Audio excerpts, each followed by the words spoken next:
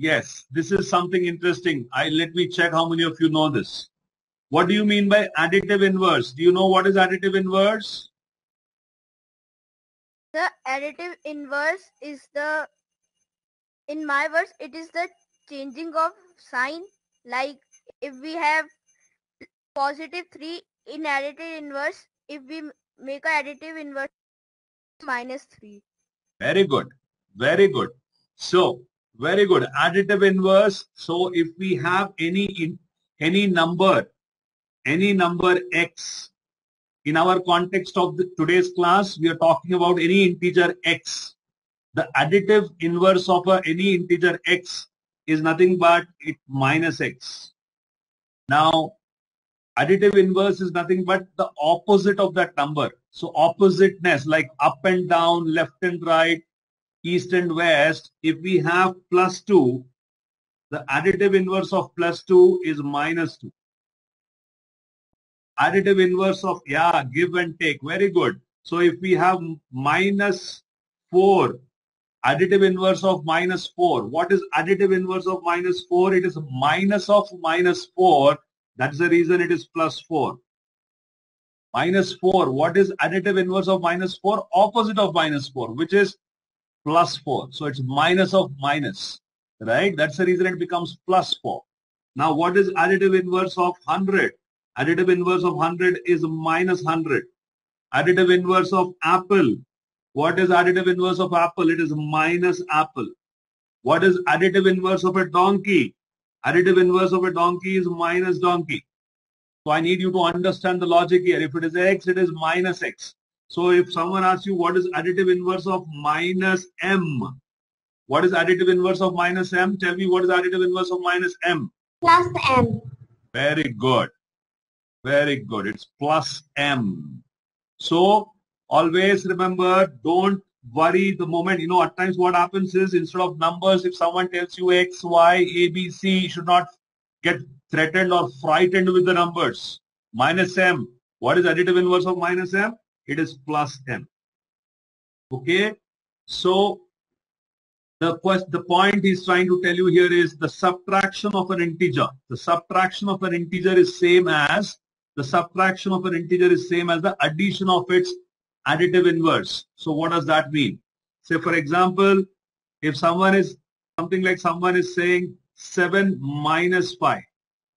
Now, what is 7 minus 5? What is 7 minus 5? 2. So everyone understands this.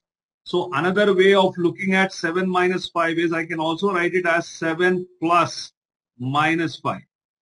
I can write 7 minus 5. Another way of writing that is 7 plus minus 5. Now what is 7 plus minus 5? It's like you're adding plus 7 and minus 5. So your that is nothing but equal to 2. So the another way of writing, this is only a representation. Wonderful. Okay. So we'll come to this uh, this additive inverse little more in detail. Just hold your breath. We'll come back to that. Okay, let me complete it here itself because it's a very good learning here. So look here. Look here.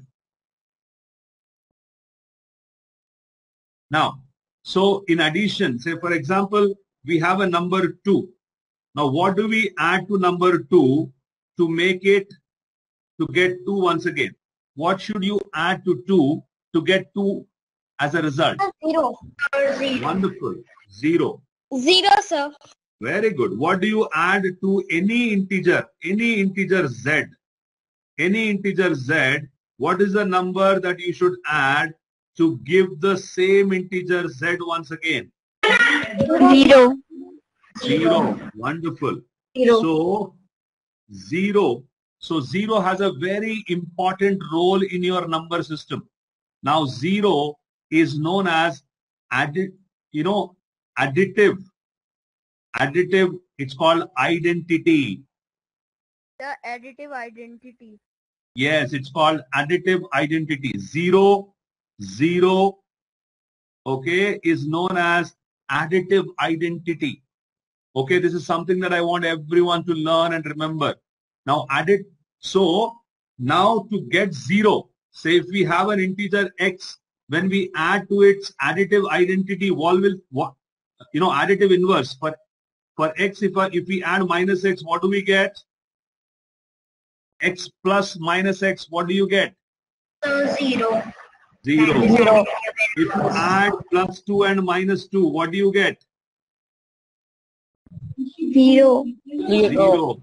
So additive inverse, another way of understanding additive inverse is any integer z, if it adds with its inverse, which is minus z, you get zero.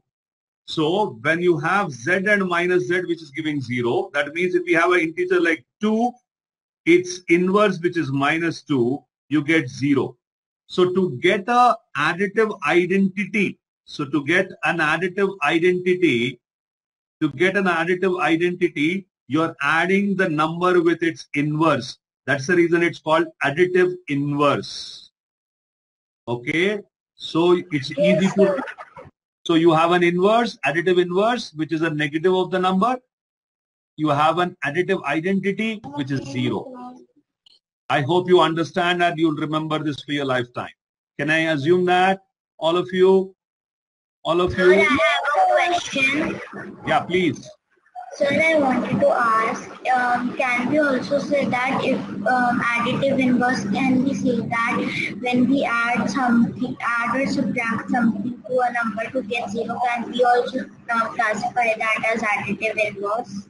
Perfect. Perfect. That's a wonderful way of explaining additive inverse. Good job, Veda. Very, very good job. Okay. Thank Let- you, sir.